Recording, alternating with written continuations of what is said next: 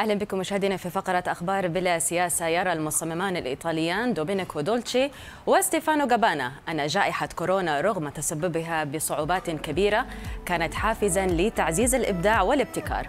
وقد دفعتهما هذه الأزمة إلى إبطاء عجلة الأعمال للعودة إلى أجواء شبيهة بتلك التي كانت سائدة في بداية مشوارهما في منتصف الثمانينيات.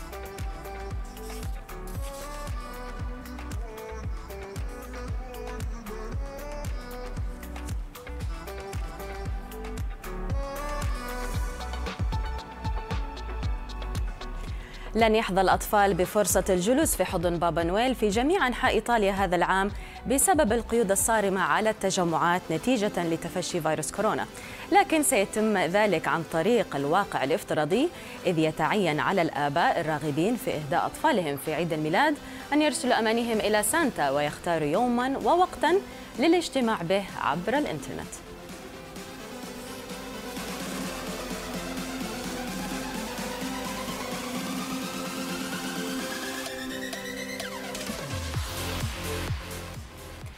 زينت الأضواء 16 مبنى في العاصمة السويدية ستوكهولم في مهرجان نوبل ويك لايت الذي يعد جزءا من الاحتفال بأسبوع نوبل 2020 وينسج هذا الاحتفال بالضوء والفن والتصميم والتعليم والتكنولوجيا بطريقة مميزة احتفالا بالحائزين على جائزة نوبل لهذا العام ويستمر لغاية الثالث عشر من الشهر الحالي.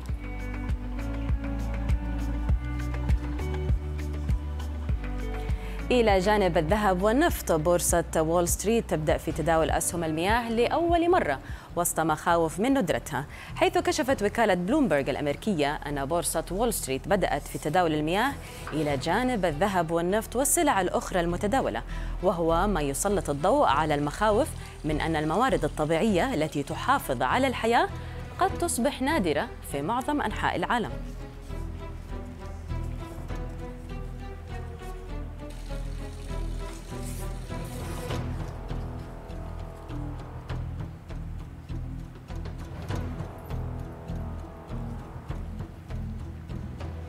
وإلى منصة تيك توك حيث تصدرت أغنية لاكست قائمة الأغاني الأكثر استخداما لعام 2020 وقد تم استخدام الأغنية في أكثر من 54 مليون مشاركة على تيك توك. نتابع التقرير التالي ثم نعود لاستكمال ما تبقى من صباح العربية.